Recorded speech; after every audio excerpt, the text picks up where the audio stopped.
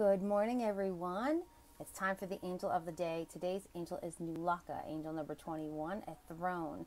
So, for more information on this angel and all the other angels, you can check it out on aliciabozza.com. So, let's check this out because I have to get going to sing for a funeral this morning.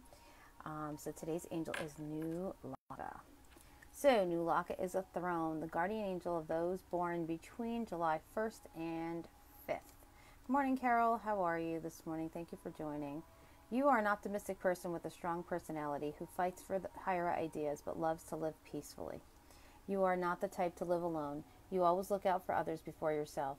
Any trials you may have are always handled with courage and positive energy. You have a thirst for spirituality. You age very well and you always carry yourself beautifully. You understand both the visible world as well as the invisible. And then we have a little bit of the New Testament and a little bit of the Old Testament. The New Testament is the ichthus, the sign for Jesus, my best friend, and his name in Hebrew in the middle. And then below that is the psalm that corresponds with this angel, the 21st name of God, Nelcael, which says, My times are in your hands. Deliver me from the hands of my enemy, from those who pursue me. That's a very good thing. And this is an awesome angel, Nelcael. This is the other side of the card that will be created very soon. Nelcael who do we got here? Is that is that my Susan? Oh, Mary Grace. Hello. How are you? New Nelcael rules over the following days: January 22nd, April 9th, June 20th, August 30th, and November 11th. So, Mary Grace, these are beautiful angel cards that I'm creating that are that are the 72 names of God. So, this is angel number 21, the guardian angel of those born between July 1st and 5th. And this is the back of the card. Um, so, this is all about that angel. Meditate on the name of God, Nelcael, for protection from those who may falsely accuse you or try to hurt you in any way. And I was telling my girlfriend before that um, if you happen to have any children who are in school who may be picked on or whose teacher might not be so nice to them, you can cover them over with the protection of Nelcael. Because this protection, and when you specifically pray to God in this fashion, calling on this name of God, you can get this protection. It's kind of like a hidden benefit in, a, in an insurance policy. Okay, so let's say that God is the insurance policy and that this is a rider. Okay, that would probably be a great way to explain it. So meditate on the name of God, Nelcael, for protection from those who may falsely accuse you or try to hurt you in any way. God tasks Nelcael with helping you to learn, inspiring you to study and pass exams.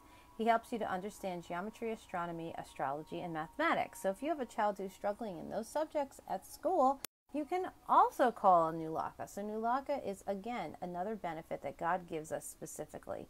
Nelcael inspires scientists and philosophers. He helps you to concentrate and develop and develop knowledge. He can also protect you from those who are prejudiced and vindictive. He can help you apply knowledge that you have learned. And Nelcael means the only God. So this is one of the great ways that we can help ourselves through the name. You can turn around now. Yes. So I have um, more information on this angel and all the other angels on my website, aliciabozza.com, where you can find me regarding the angels or my new upcoming book Satya.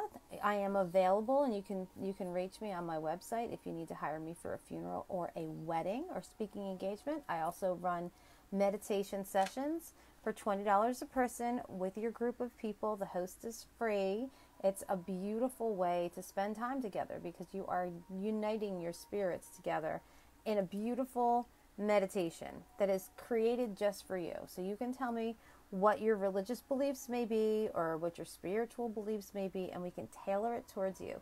So if it needs to be Jesus, Mary, and Joseph, and I mean that in every way, we can create a Jesus, Mary, and Joseph meditation.